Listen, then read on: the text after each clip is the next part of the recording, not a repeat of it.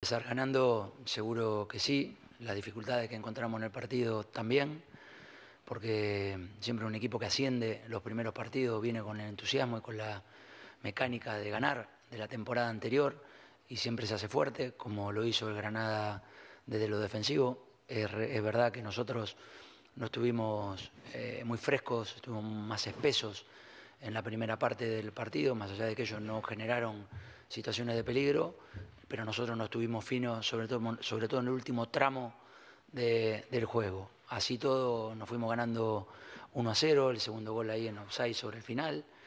Eh, empezó el segundo tiempo y encontraron a partir de una no buena salida nuestra de atrás, un gol para empatar el partido y Memphis metió un golazo. Un gol que te genera tranquilidad dentro del partido que se venía por delante eh, creo que la entrada de Charlar nos dio más fortaleza defensiva. Aspilicueta ocupó bien ese carril derecho, dándonos más seguridad desde lo defensivo también. Llorente empezó a, poder llegar con más libertad al área. Correa entró bien.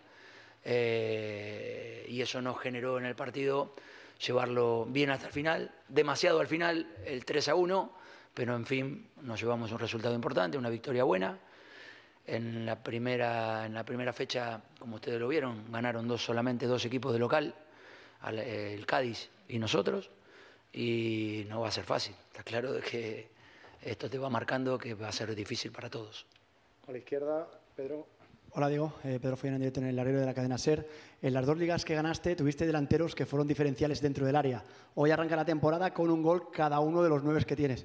No sé si esa es la clave para poder aspirar a los títulos este año, mejorar en ese, en ese área rival con Memphis, con Morato, con el que sea. Bueno, está claro de que las áreas son las que mandan y bueno, nosotros tenemos futbolistas que, que lo pueden hacer bien. Álvaro hizo un gol, anularon otro, eh, Memphis un golazo, tuvo posibilidades de hacer otro. Ángel entró muy bien, Antoine no tuvo un grandísimo partido, pero lo necesitamos de la mejor manera y eso genera competencia. ¿no? Llorente volvió al gol, estando de interno el rato que lo pusimos de interno, así que eso nos genera entusiasmo porque necesitamos del gol y del juego de, los chicos que están dentro del equipo. A la izquierda, Jano. ¿Qué tal, mister? Alejandro Mori, en directo para la Radio Estadio Noche de Onda Cero. Eh, al principio del partido habéis tenido un contratiempo con la lesión de Coque. Has optado por poner ahí a Pablo Barrios. Mientras llega al 5 o no llega, es un chico que ha jugado siempre de interior contigo. ¿Le ves capacitado para ocupar esa posición si es necesario de aquí al futuro o es una posición complicada porque hay que tener mucha experiencia? ¿Le ves en, condiciones y qué tal o cómo valorarías el partido que ha hecho? Me gustó, me gustó, ya me gustó en la pretemporada. En la pretemporada hizo partido muy bueno, con buen ritmo, sobre todo mucha dinámica mucha frescura, tiene otro ritmo de juego que Coque, pero, pero lo, hizo, lo hizo muy bien, así que nada, a seguir compitiendo. También lo puede hacer Axel, yo igualmente lo veo más como central, como medio no lo veo tanto, pero puede jugar de medio porque ha jugado toda la vida en ese lugar y bueno, veremos en consecuencia de lo que pueda pasar o no, buscar plan B. Hola, Cholo, aquí arriba, enfrente de ti. Eh, por la importancia, la trascendencia que tiene Coque en el equipo, me gustaría saber si es posible, si tiene algo serio, grave o si es simplemente una molestia muscular y además un jugador que eh, provoca más daño en una demarcación en la que tú vienes diciendo que hace falta fichar a alguien. No sé si esto también va a condicionar o a hacer un poco que el club acelere esa gestión, ¿no?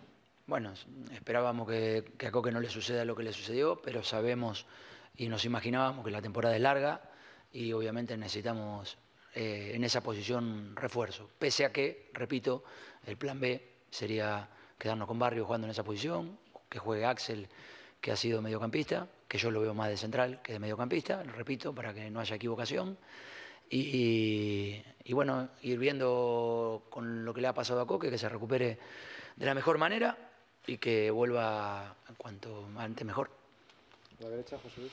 Hola, Diego, José Luis Guerrero de Relevo. El otro día tuvisteis una reunión con, con los árbitros, ¿no? Que os dieron ciertas explicaciones y tal. Hoy hemos visto ocho minutos de, añadido.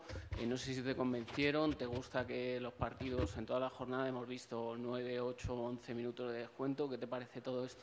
Bueno, que es un poco lo que en realidad pasa dentro del juego. La gente quiere ver eh, juego en los minutos, no los minutos parados y son muchos los minutos que no se juega.